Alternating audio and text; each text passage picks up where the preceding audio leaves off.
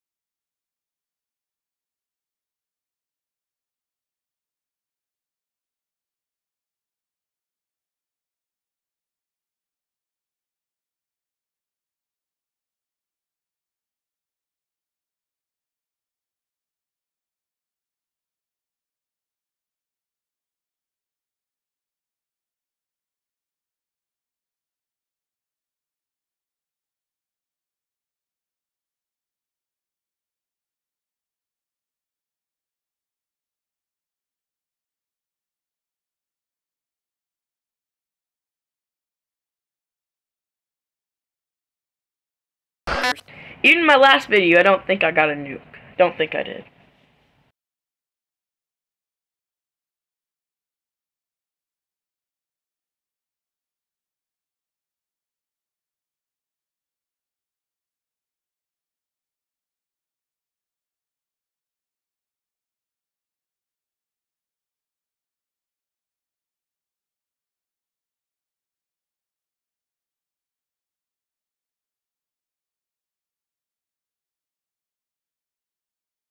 This was